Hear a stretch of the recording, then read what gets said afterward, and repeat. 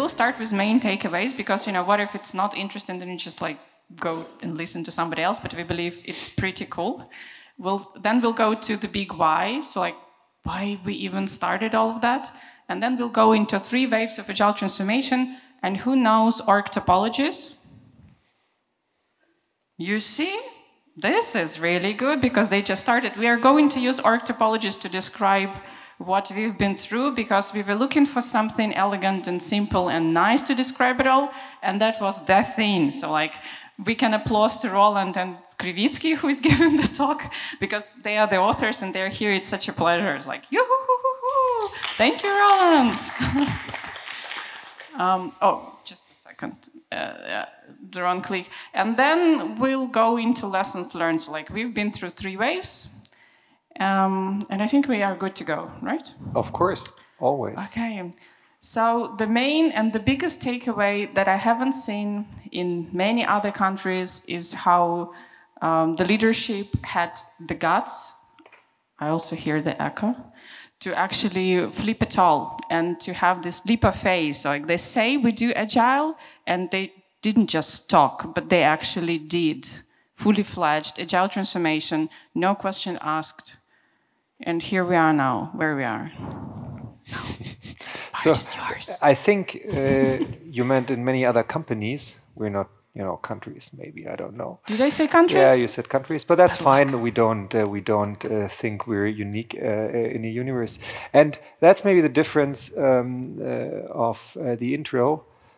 If you're not only manager, but basically an entrepreneur, there is not so many people who can hold you back or you are you know accountable towards but yourself and your people. And um, so guts is something natural. I mean we're in a daily competition with the outside world so we always have to you know take some decisions. It uh, i think it was perceived also looking back courageous but back then it didn't feel like that. It felt pretty normal. Nevertheless these kind of things, um, if you take entire pieces of the organization, and back then there were a bunch of people, um, something about 100 or so, Lucy knows better, of course, um, affected. And looking at the, so the underlying challenge with the entire tech and business continuity, you needed to have some sponsorship because you cannot at that point in time, you know, call out some of the people, some of the employees and take like you uh, make yourself responsible for that and if not, I fire you. I think that would not have been a very positive fuel. So um, I, I, was the sponsor not only because I'm the tech in the founding team. What drives me more until today is, you know, bringing people together, working with people. The tech thing is just, you know, I got my first computer with five, standard story. Um, but what drives me more is working with people. So that was easy. What wasn't that easy back then is, as a fast growing company, we were backed by venture capitalists and private equity. And they put hundreds of millions at the table and they were like, okay, what are you doing? You're just flipping around an organization and then it's all different and you have no real idea what happens if it doesn't work. So um, we really started off with uh, taking them, you know, pre our journey and explaining why we do that and you know what agile means and that kind of stuff. So I had at least an understanding, and it was not remaining unknown, unknown. They've read in books and stuff, but something they could, you know, was became more tangible to them. And um, with the ultimate go, well, um, we just started. Mm-hmm. Are we good? Okay. And that's where it all began.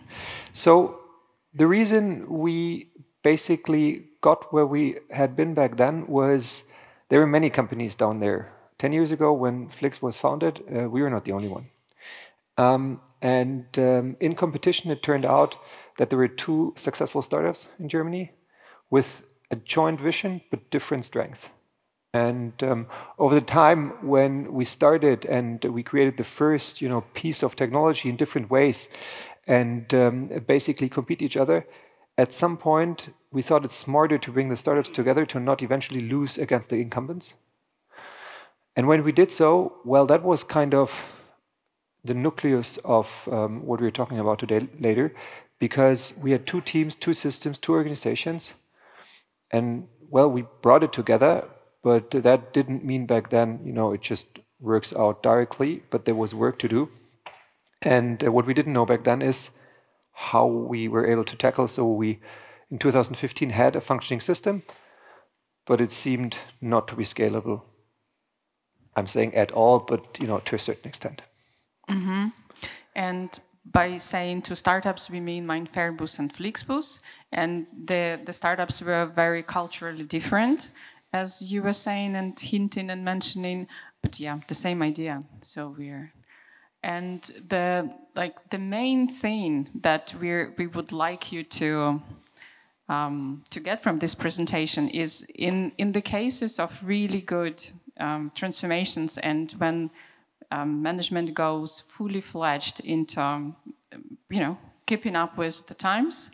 Um, tech sometimes becomes not a limiting but enabling factor, and we have seen how it was keeping up with coming from three countries to 40 countries now, expansions where Flixbus is driving, right? Yeah, 41. 41. So, and th this is insane. Like, if I was told in 2017 that we would be 40 countries, I was like, no way. But yeah. back then, back then, you know, it just worked, but it took us forever to ship an app. It took us forever to adjust almost anything. We had a so-called meta sprint process where in almost every team, they were like, yeah, we understand the requirement, but we're dependent on this, that, here, and whatever. And well, it takes forever. And, and that obviously uh, we didn't want to accept. And I guess if we now fast forward to today, it took us less than one year to rip off the entire technology platform, which was older than 30 years at Greyhound, and flip the almost $1 billion company onto our platform. So that would not have been close to possible in 2015. And that's only partly true because of AWS cloud architectural topics. It is more true about, you know, what the organization looked like, the technology organization back in 2015 and how it looks today. Mm -hmm. Right, and but where it all started, right? The first wave, just right after the merge, there were still two companies, and there was so much ahead of us, right? So what if you cover us the Flixbus part? So, what is still true for uh, the three co-founders on the Flix side is we're a little bit hyper aggressive. We love competition and we're super fast. So that meant on that edges, marketing, you know, raising money, um, business perspective, that was what we were at core. But um, from a technology point of view, it lagged a bit behind. And uh, when we started late, we decided to, well, we were first to decide to pick up external dependencies, purchase software, just not because it was a proper make or buy, it was just we were too late to implement something ourselves.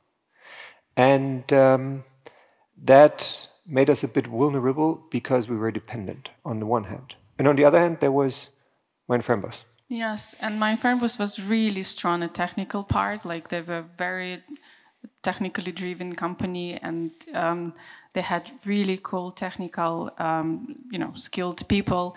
And one of the things that I think was brilliant, they never had manual testers, like never ever. So like all of the testers that they have were automated ones, so they could read the code, could understand it. And they also had not just full stack devs, but also one designer and two front-end developers who actually are still with the company. So they are the core, the core, the core of the team. And the, the main challenge was actually how do we bring those people together? Because uh, very business-oriented teams and very technically driven teams, they have different um, mentality and they have different mindsets. But we had the same aim. There was one funny situation some of the oldies uh, remember. I used to work for Microsoft prior. And as one of the co-founders, I, I became the part in the management team who was heading or meant to head technology, but with a very skilled CTO. Um, and I know that all the MeinFernbus people at that point in time, they thought, okay, now that that dude comes in and we were going to switch everything to Microsoft and eventually outsource everything. But during the due diligence of that deal, I recognized what MeinFernbus built was much more powerful. And obviously the Flix people were closer to myself because I all hired them. So I took the call and said, like, we're throwing away whatever Flix built and go with the MeinFernbus platform, which in the core is still running. Um, and I think that was part of the foundation to also, you know, win the hearts of the entire team to move on with that journey, because um, the trust with the former Flixies was there already, and I think I gained some trust when I came in and threw away what I was originally in charge of, and chose what was better, independent of personal biases or ego stuff. And um, yeah, then we continued. Yes, and that was totally brilliant.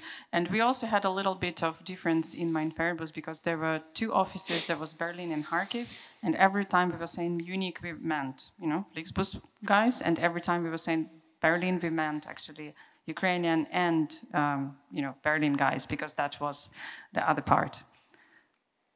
Okay, and when we were trying to analyze according to org topologies, where there are two dimensions, and the, um, the horizontal dimension is how skilled the people were in one team to ship the product, and on vertical dimension, it's how well they knew the product. We realized that you know, mainly, especially in MeinFernbus, they were functional groups doing tasks because in Flixbus, there were some Scrum teams already with some product owners.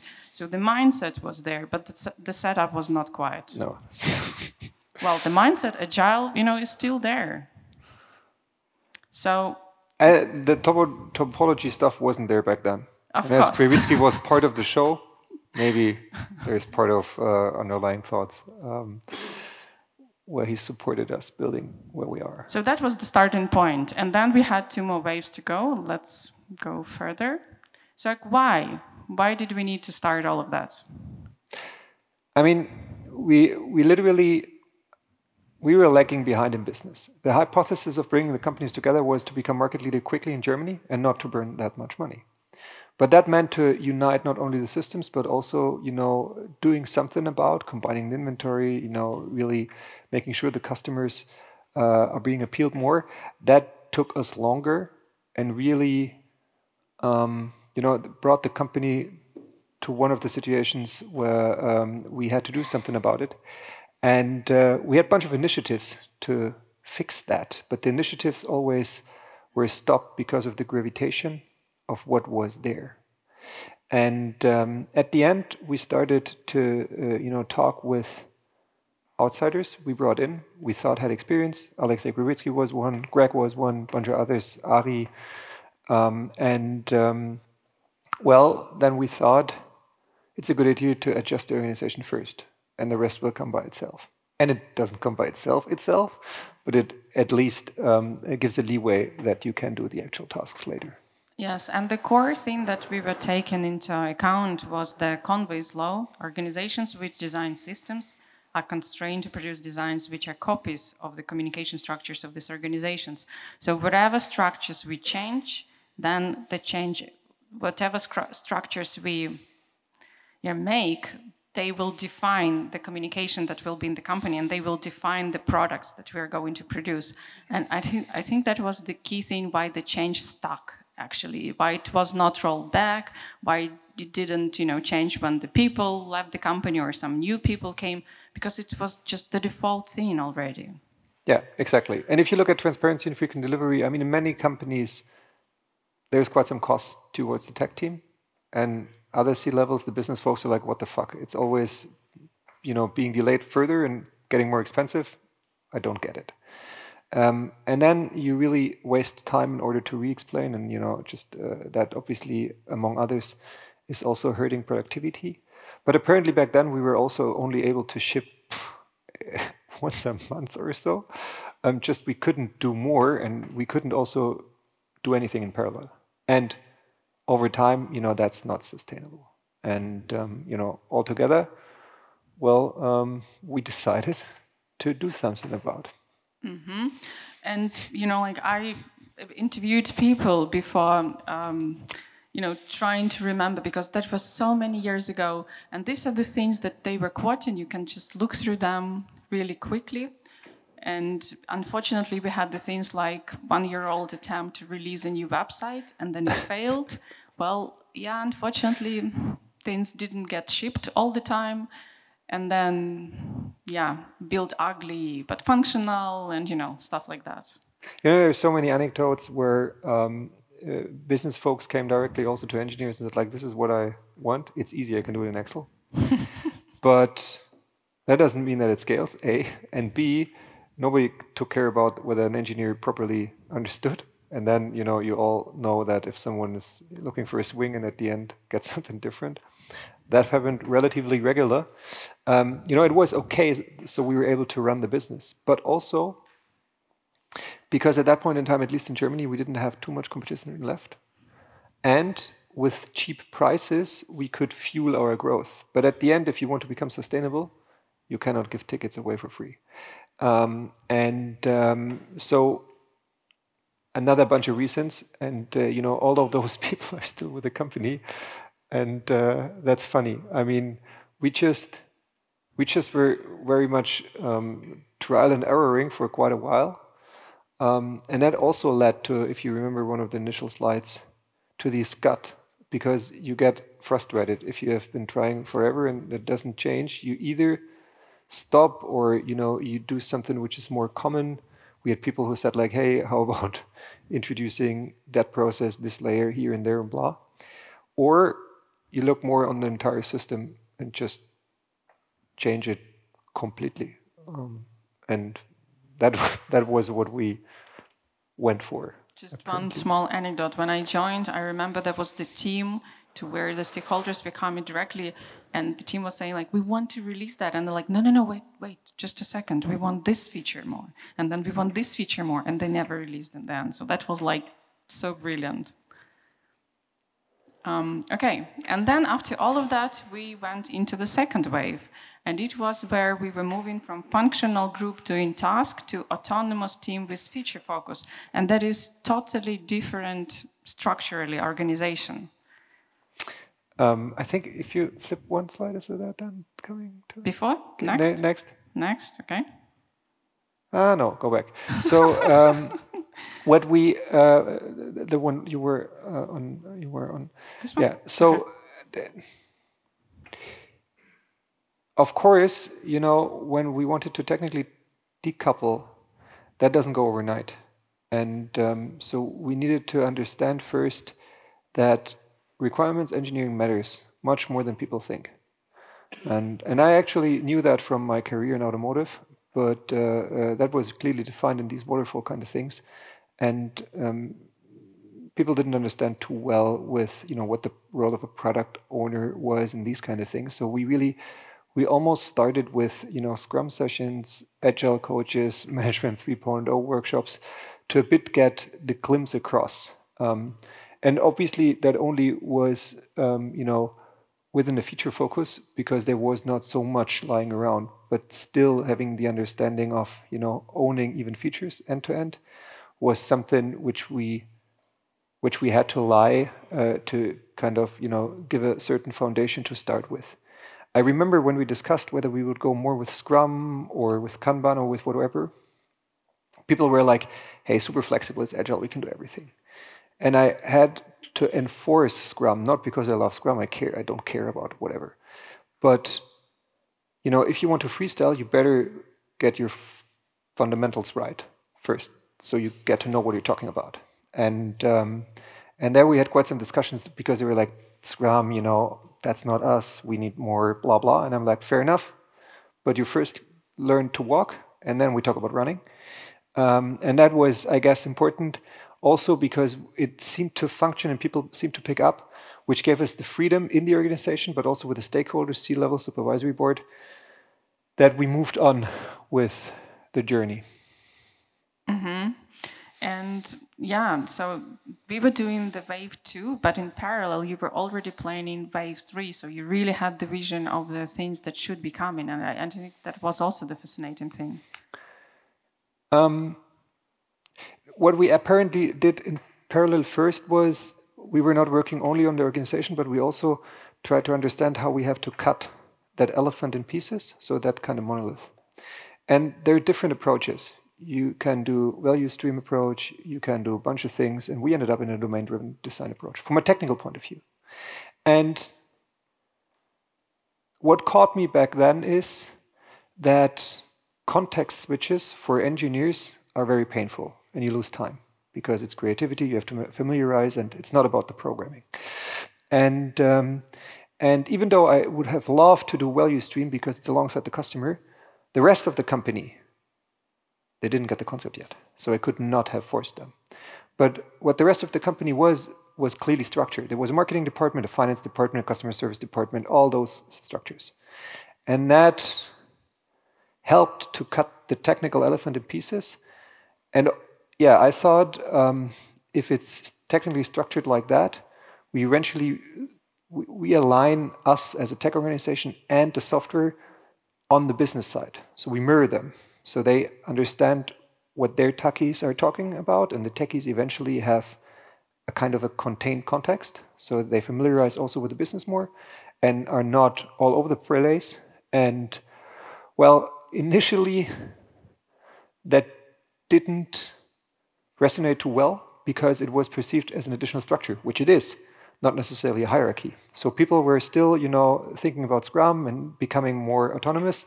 And I uh, came across with, you know, we need already more structure because it needs to scale.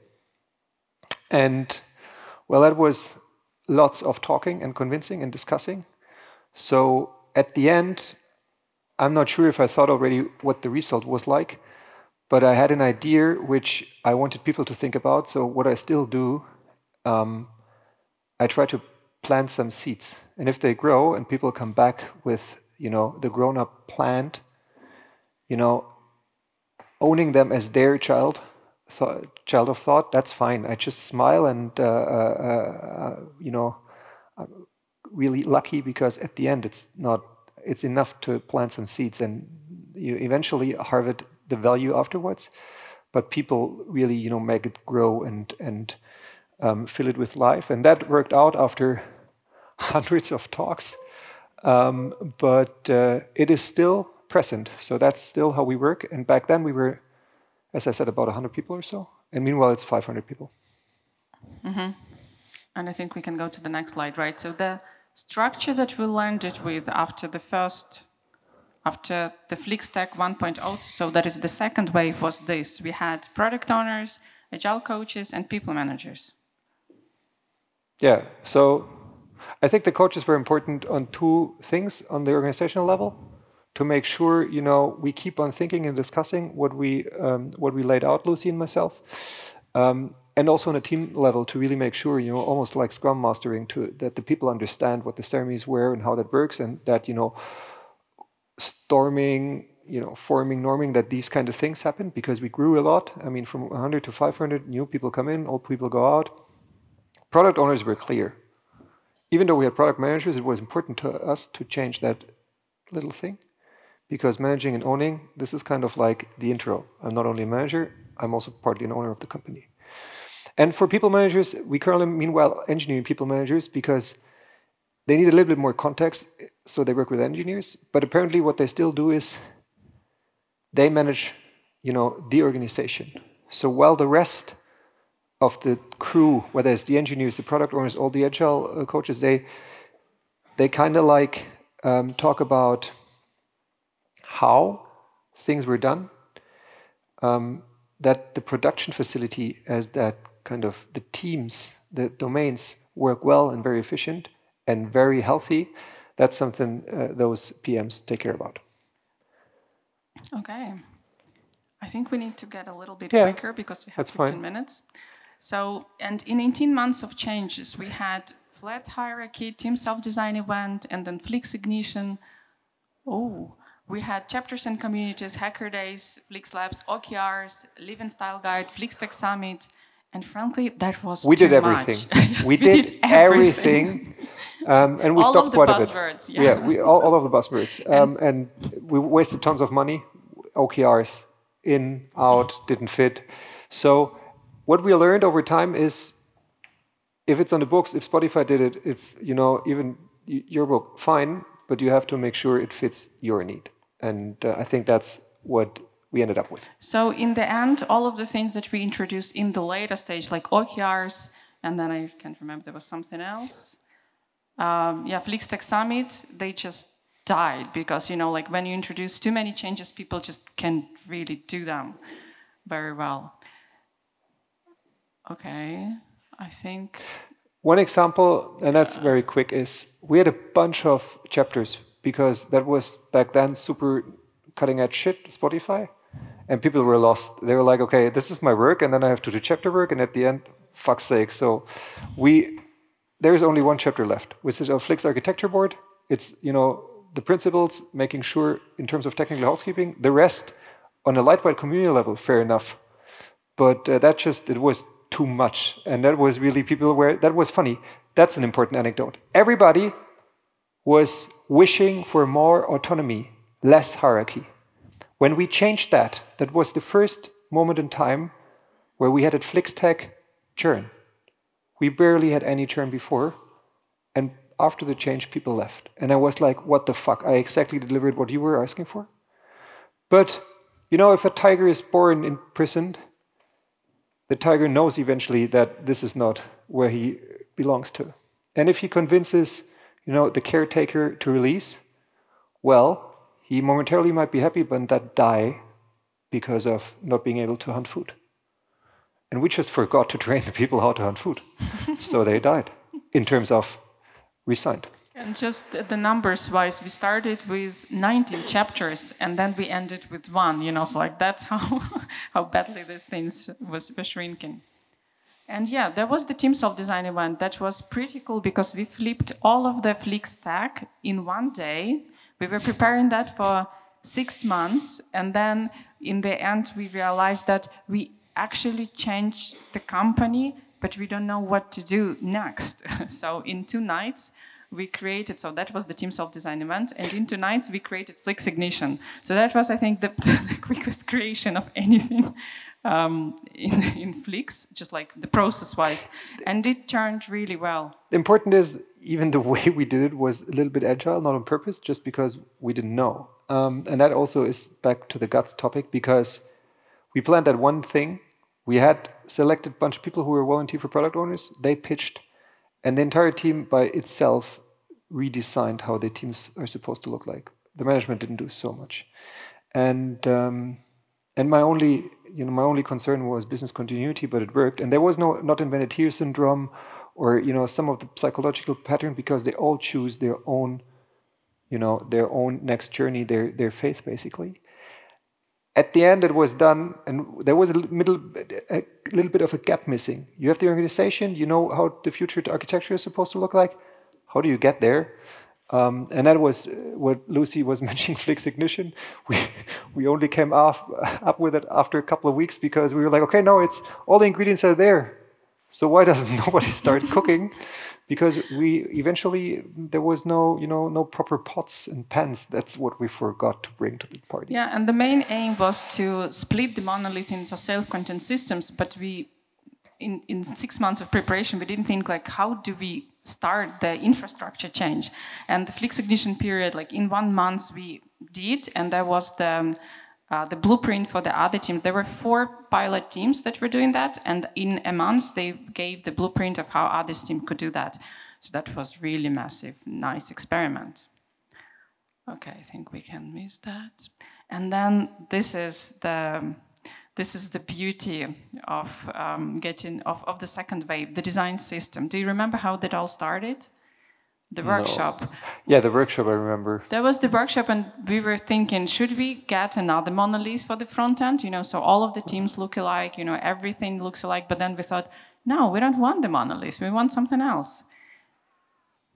And then there were these guys, Christopher Pancik, Andrew Linkoy, and I think someone else, and they were saying, I think design system would be a nice way in. And that was that was something they were doing for a year and a half and it turns out to be very valuable because then you can buy a different company and just recolor them quickly.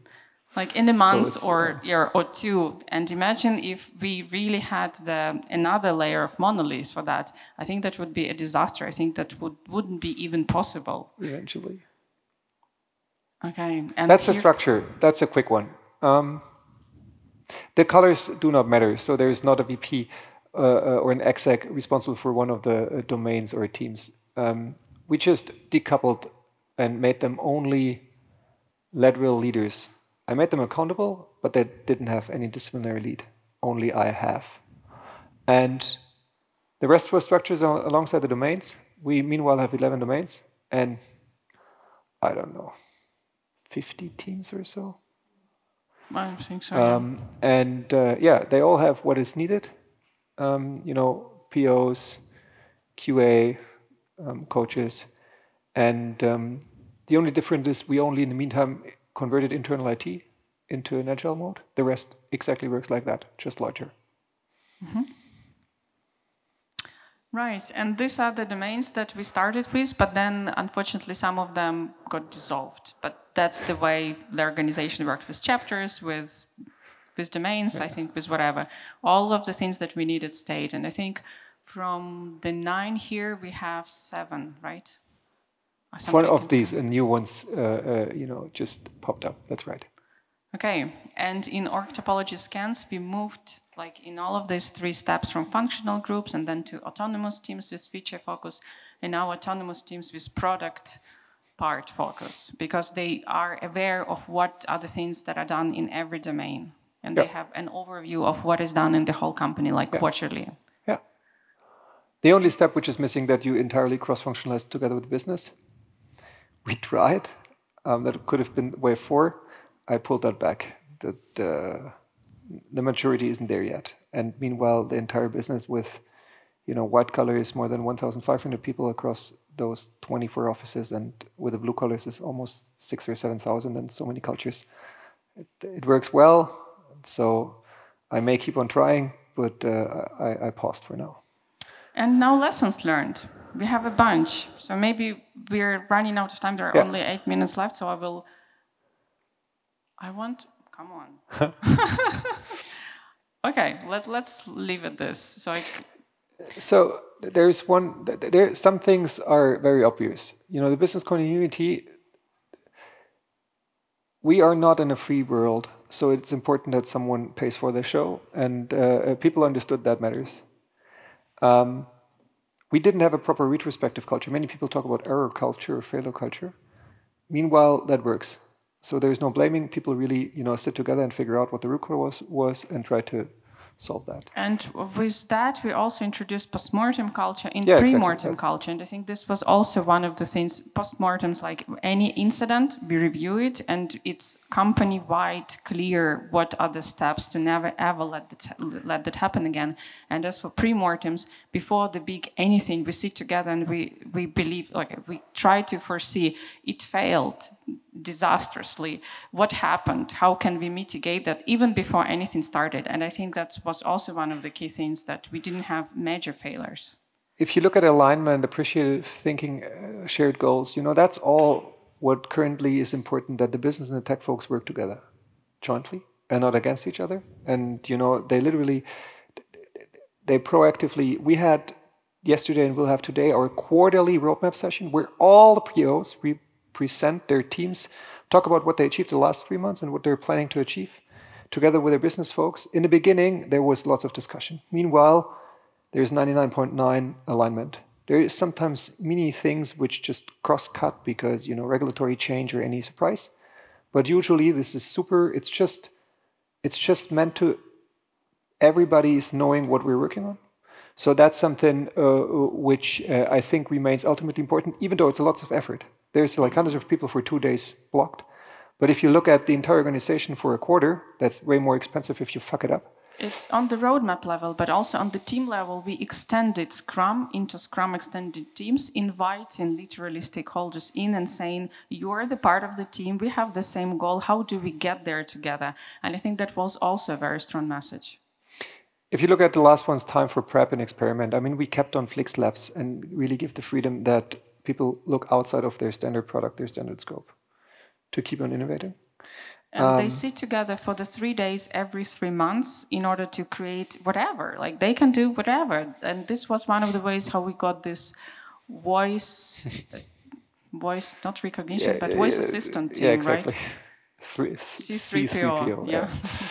Um, that's the only uh, the only challenge between business and tech teams. The tech teams meant to have random names, and sometimes the business teams are like, "What the fuck?" I mean, um, there's one learning not on top of that.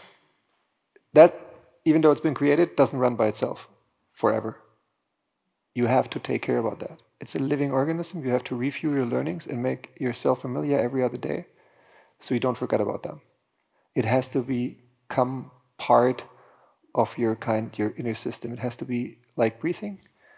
And that's not easy. I don't believe in such a complex system, it goes by itself. So you regularly have to review and, you know, reflect on that. Mm-hmm. I think we're good. We're done.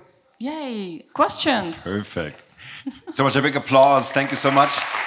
It, it really felt like a like a conversation between the two of you of, of uh, memories, bringing back memories. Let's let's ask them. Let's ask them the hard questions. Come on, here we go. So would you say that, uh, I mean, how, how much external help did you acquire actually to do we that? Had, we had three coaches. There was Alex Krivitsky, there was Ari Tikka, and there was Greg Hutchings. Um, some of our internal coaches worked together with them, got, got to know them here in conferences, and brought them in because of their different flavor and experience. That's about it. So there were 12 agile coaches in the very beginning. Like they were agile coaches and scrum masters, and we were with the teams for a couple of years. But we hired them, most of them. Yeah, I mean internal coaches and three ex external ones, so 15. Um, thanks so much. It was a great talk, uh, and I appreciate uh, coming here and taking the time. Um, I, I'm, I like the metaphor metaphor that you said about uh, tiger in the cage. Um, I was I was wondering what would you do different um, now about like I, I I felt like you said it was a very hard transition from so sometimes yeah sometimes people wish for something like my children because they saw it on TV or they read about it but they don't really like or they don't need, really know what the consequences are. So having given a little bit more thought about that and not only listen to the wishes and you know they they want sweets all day long. I mean, I also don't feed my children with sweets all day long. And back then, I, I was a little bit too hey if they would wish for, so I give them. Um, I should have thought that through a little bit more. If I would have resolved it, or if I would have resolved it differently, I don't know, because only with a trial that doesn't work. If it's too little, it's not you know to be scaled easily in these kind of. And I could not have trialed with every individual and played through you know that kind of game. So so do you know know how to hunt? Um, I think I was too naive and wondered for too long why people left. They couldn't not they couldn't really tell why they would leave. It's like we don't have someone anymore who tells us what to do. And like, yeah, that's what you ask for. I'm like, yeah, but it feels unnatural. I quit. So I watched almost half a year. That was too long. Um, I should have reacted quicker. But you know, the only obvious solution is to kind of do some trialing but I don't think that would have worked. It was on purpose that we took that entire thing as one single change. So it's not that easy to answer. I think I didn't reflect enough on what the consequences would be, and I watched too long what the consequences were before I intervened. Thank you so much. Before I hand over to the two other men, is there a female voice, please, for a question? Comment. no I'm, pressure, I'm no I'm pressure. I'm gonna stress. I'm gonna stressing that all the time. Please. Yes. um, you have fifty teams. About. Uh, how we how you do the cross functional? Do you adopt LeSS or do you hmm? adopt something? So. Um, I think what we do is closer to LeSS than to a framework like SAFe. Um, well, on a domain level, um, some of the more senior folks became um, domain leads, domain technology officers, domain product officers. They, they, run the entire domains consisting of three to maybe 10 teams. Um, and they not only look that the domain runs, but they also sync regularly with the other domains. And also, we still have coaches, not as many as back then, because the system in general works but at least one coach, sometimes two per domain. And they, you know, if there are new teams formed, they really have to focus on the teams, so they become teams. But usually they look more across um, the domains, so it works together. And then there are a bunch of communities where they work functionally together. So the front end folks, or um, you know, the product owners itself. Um, so they share their knowledge and their tooling. So we try to not invent uh, or or wheel twice. But I have to admit, with the size we now became, that becomes more complicated. So we already start thinking if we have to adjust um, the system or no, but I'm not conclusive on the solution yet.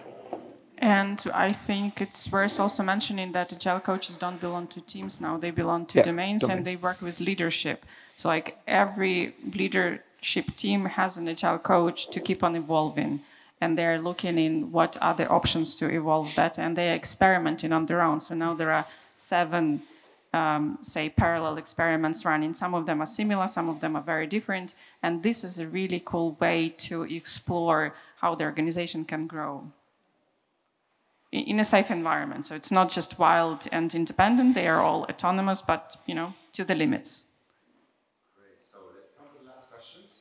Um, you mentioned people manager, coaching and the right team setup, reducing conflicts of interest. Can you please explore this? So if you have a bunch of humans together in a room, conflicts will arise because we have different personalities. And that's the one thing. The other thing is, you know, we're working in some environment. So there's a culture of the company, there are offices, there are things to be taken care of, which um, is not necessarily in the core of the individual to take care about, but it's, you know, something we have to serve from a company perspective. And last but not least, autonomy become you know it's a balance with accountability autonomy accountability. If not it's chaos. So i still believe i when i want to create a high performance team it comes also with you know some performance. We don't have a performance management in terms of hire fire or uh, 20 70 10 but we look um, that teams work and we do not um, accept you know individuals cheating the system and that's something um, which uh, I need a role to take care of, like housekeeper, or you know kindergartner or whatever in some sense. We also call this role just a second. We also call this role a triage, you know, a triage trial judge in a way, right? So whatever happens, if the team has a conflict or they cannot agree, or there's a product owner and the team, you know, that cannot agree to some point, they come to people manager now, engineer and people manager, and he's the mediator. Like he's the person who is as unbiased as possible, and he really tries to bring uh, to the light the issue and to really solve it in a as balanced way, in a as rightful way as possible. Okay, dears, we need to get on. Thank you so much. But the last one, a very quick one, please. Yep. Uh, this question is, uh, I'm here. Where are you? Uh, the question is related to the, the same topic. Um, I saw that autonomy, mastery, and purpose, and you have attached three different roles to it. Um, did you make those three roles responsible for each of those each of the areas? partly. So partly responsible, yes. Accountable is the team itself. You know, they have to really buy into the shit. The roles are partly support. So I I need agile coaches to drive the show so people understand how the systems work. And I make them accountable of driving that. I do not make them accountable that the team pick that up. And you know, taking the development and learning journey of people, I obviously make the engineering people managers accountable that there's an offer which fits the needs of their teams. But you know, at the end, learning development it's an individual choice. So accountable is the the, the person, and uh, you know, the POs obviously are accountable that the matchmaking of the requirements and the understanding of the team's work. But if the business wishes for some bullshit product and we create a bullshit product, I cannot call the PO accountable that it's bullshit and doesn't fit the market alone.